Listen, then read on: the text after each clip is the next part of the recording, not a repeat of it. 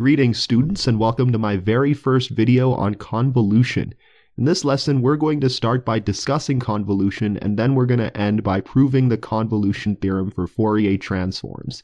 Let's begin the lecture by introducing convolutions. Suppose I have two functions f of t and g of t. The convolution of f and g is defined as f star g equals the integral from negative infinity to infinity of f of tau times g of t minus tau d tau. I won't be spending the next 18 minutes showing you the convolution of sine and cosine in an effort to demonstrate that the convolution of two actual functions is an actual quantity, but I will take a brief detour to talk about the idea or intuition behind a convolution. I'm going to copy paste the definition of convolution here for easy reference. Now, in order to understand the intuition behind a convolution, I'm going to draw an example function for f. And what I'll do is that I'll let f look like this, uh, a box. The next thing I'm going to do is draw g of tau as another box somewhere out here. So it looks the same as f of tau, it's just displaced a little bit. Now the whole idea behind convolution is that we take g of negative tau, we take g of negative tau, which is the reflection of g of tau along the vertical axis, and sweep it to the right according to the time t at which we're evaluating the convolution. And as we're sweeping g to the right, we're multiplying f and g everywhere along the sweep and integrating that result from negative infinity to infinity to get the value of our convolution at time t. So let me show you what we'll get as we take the convolution of f and g. As we start sweeping g of negative tau, this is essentially the same as sweeping g of t minus tau, but with t equals 0.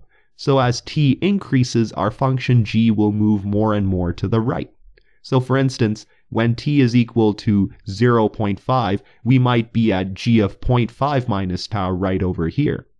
Now if g of 0.5 minus tau is all the way back here, then when we multiply g and f at this time point, we'll get 0 because the non-zero part of g, the box, is hovering over the zero part of f. Similarly, the box part of f is hovering over the zero part of g, so multiplying g and f when they're so far apart will give you zero, and the integral of zero from negative infinity to infinity is zero. So this means that the convolution of f and g will remain zero as long as g and f don't overlap their non-zero portions. So from time 0 all the way until the time at which g just starts touching f, the convolution of f and g will remain 0 because the product of f and g is 0 when they're not touching, and so the definite integral of that product is also 0. But what happens as t increases to a point where g starts to overlap with f? Well, in that case, when you multiply together the portions of g and f that actually overlap, you get a non-zero number. And when you integrate that non-zero number, you end up with a positive value. Granted, that positive value isn't very large, but it's positive nonetheless. So the convolution of f and g will actually start to creep up as g starts to overlap f and as g continues to sweep across f, the region where g overlaps f increases, and as the overlapping region increases, the convolution integral increases until g and f completely overlap each other. And at this point, when g and f completely overlap each other, the convolution integral will peak. What happens next? Well, as g continues to sweep towards the right, then at larger t, the overlap between f and g decreases and the value of the convolution integral therefore drops. This continues until f and g no longer overlap and the convolution goes back down to zero. Now notice here that I started sweeping at t equals zero and essentially continued until t equals infinity, which means that my answer for the convolution isn't complete because I haven't swept the function g from t equals negative infinity to t equals 0. But for this particular problem, you can imagine that if I started my g all the way to the left at negative infinity and swept it forward until it got to t equals 0, there would be no point within that sweep where g and f overlapped. Therefore, my convolution would be 0 for all negative values of t. But this is what you have to do for a convolution. You have to actually sweep it from negative infinity to infinity, not just from 0 to infinity. So this is what the convolution of these two box functions looks like, a triangle essentially, and zero everywhere outside that triangle. The convolution rises as the two boxes start to overlap, it peaks at maximum overlap, and then falls as the overlap starts decreasing.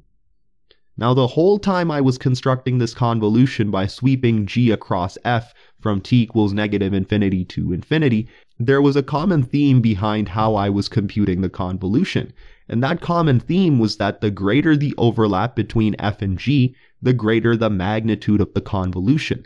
So in regions where f and g weren't overlapping, the convolution was zero, and in regions where f and g were maximally overlapping, the convolution was maximum. This is because when the overlap was maximized, the product between f and g was maximized over a larger range, and so the integral of that product, the convolution, would also be maximized.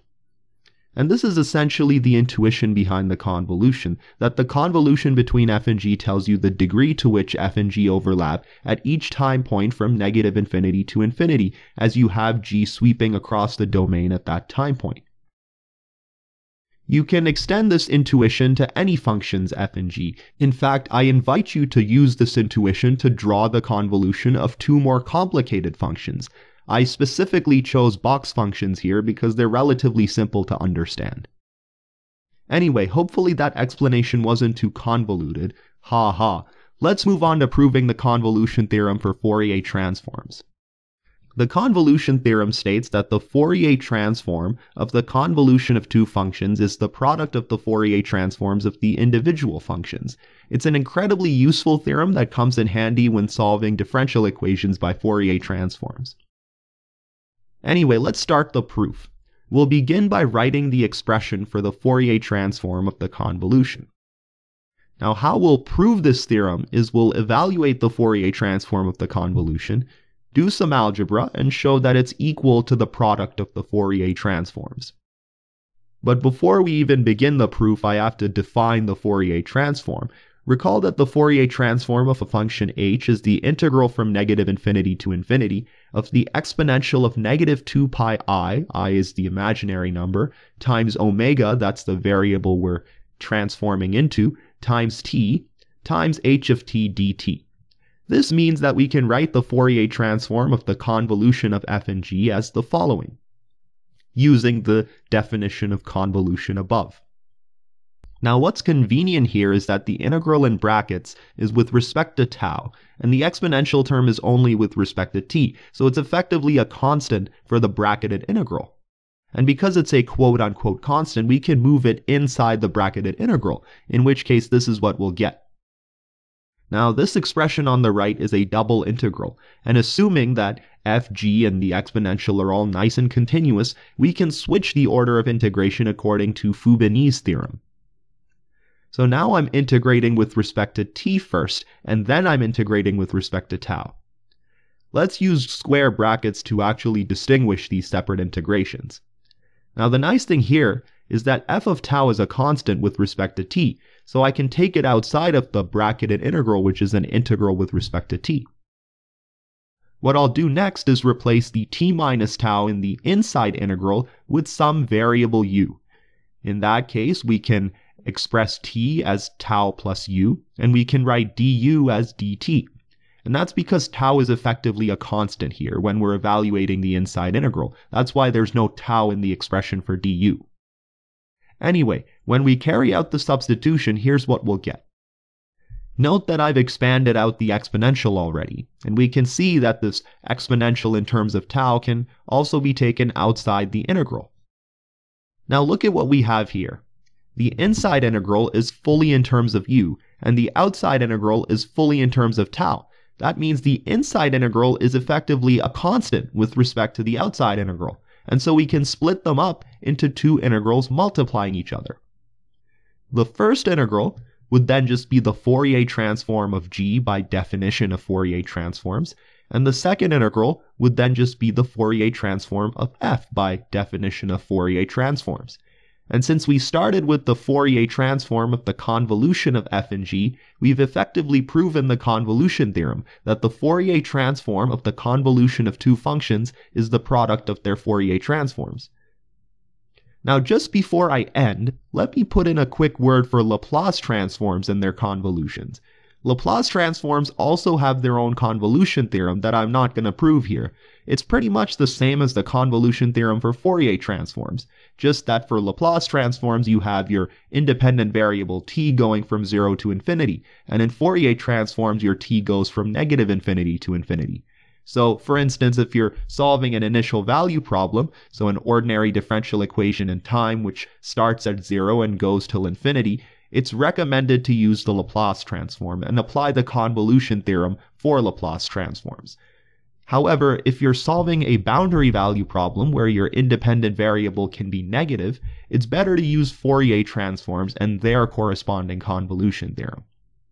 Anyway, that does it for this video. I'll finish off by thanking the following patrons for supporting me at the $5 level or higher. I've linked my Patreon account in the description so you can check it out. So that's it. If you enjoyed the video, feel free to like and subscribe. This is the Faculty of Khan, signing out.